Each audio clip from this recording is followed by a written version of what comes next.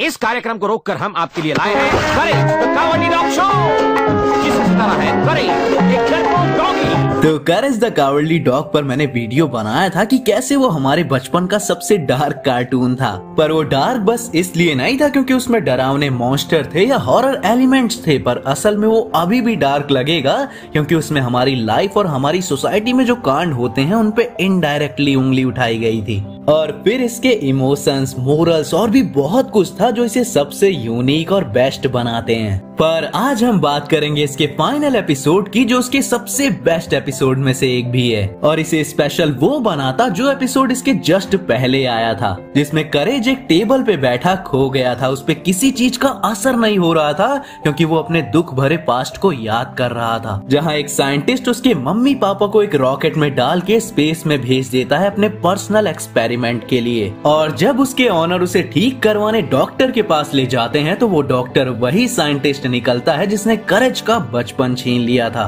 तो ये एपिसोड करेज की डर का फाइनल चैलेंज था कि अब तक वो अपने ऑनर्स की रक्षा में हर डर से लड़ चुका होता है। पर अब बारी है खुद के आखिरी डर को खत्म करने की और अपने नाम बहादुर पर खड़े उतरने की। और वो ऐसा करता भी है उस साइंटिस्ट से बदला लेकर। तो अपने सारे डरों से लड़के उनको हराने की बात करे जाता है शो के फाइनल एपिसोड में। जो था परफेक्ट और ये था उसका डर अपने आप से। तो हेलो वेबटास्टिक फैंस, मेरा नाम है सत्यम मिश्रा और समय को सराखों पर रखते हुए चलिए शुरू करते हैं। ये एपिसोड स्टार्ट होता है जब यूस्टस करेज को गाली देता है कि वो कुछ नहीं करता। निकम्मा है और हमेशा दूसरों का काम बिगाड़ता रहता है। अब करेज फिर अपनी ऑनर को खाना बनाने में मदद करना चाहता है, लेकिन वापस से फेल हो जाता है। तो वो सोच सोचने लगता है कि शायद जो उसके बारे में बोला गया है वो सब कुछ सही है। और वो अपने दिमाग से एक स्कूल टीचर को इमेजिन करने लगता है। वो सोचता है कि वो बंदी रियल है, पर कोई उसे नहीं देख पा रहा था। और वो स्कूल टीचर करेज को गुस्से में और एक स्ट्रिक्ट टीचर की तरह सिखाती है कि लाइफ में परफेक्ट कैसे बना जाता है। पर करेज तो फेल हो जाता है और ये टेंशन डिप्रेशन में बदल जाती है। और धीरे धीरे पागलपन की तरफ़ बढ़ने लगती है और तो और उसे सपने में भी एक फिगर दिखता है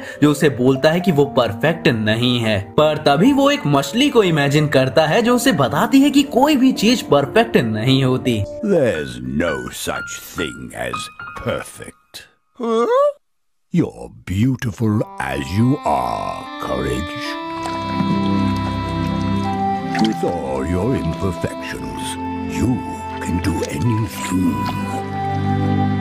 और करेज फाइनली राहत की सांस लेता है और करेज का आखिरी डर भी यहीं खत्म हो जाता है और मेरे वेबटास्टिक्स यही डर हम सबके अंदर भी होता है और इस शो से हम वो सीख सकते हैं कि परफेक्शन जैसा कुछ नहीं होता, क्योंकि सब इम्परफेक्ट होते हैं, इसीलिए सब यूनिक होते हैं। हम करेज की तरह परफेक्ट बनने की ट्राई तो कर सकते हैं रूल्स को फॉलो करना, एक ही लाइन में बंधे रहना, पर करेज की ही तरह वो हमें थका देगा और डिप्रेशन की ओर ले जाएगा। और डिप्रेशन का अंत पागलपन से होता है। करेज ने शो में इतने तरह के डरों से लड़ा। उसने सोसाइटी में रहने वाले इतने सारे मॉन्स्टर जो हमारी रियल लाइफ में भी होते हैं, उनसे लड़ा। चाहे वो कोई पेडोफाइल हो या फिर कोई स्कैम करने वाला। पर अंत में उसका सबसे बड़ा डर साबित हुआ उसका पास्ट का ड्रामा और खुद पे शक करना। इतना कुछ करने के बाद भी उसे लगा कि वो निकम्मा है और वो परफेक्ट नहीं है। और कुछ ही टाइम में इस शक ने उसकी ज़िंदगी को बर्बाद कर दिया। पर उसके अंदर के प्यार ने एक मछली के रूप में उसे बचा लिया।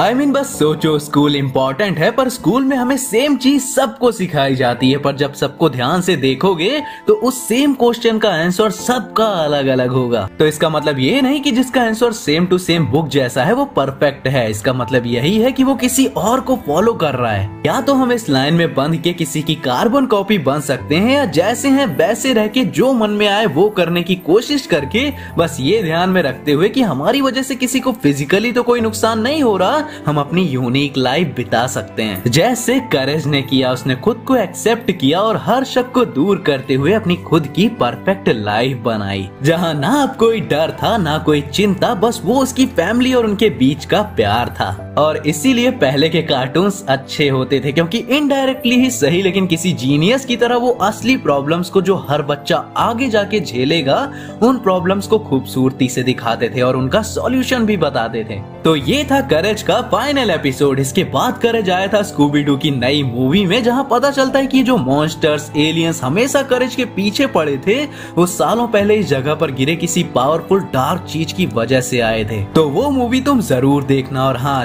जल्दी से अपने अपने फेवरेट करेज एपिसोड कमेंट कर दो और वो फ़िश का वचन याद रखना यू आर परफेक्ट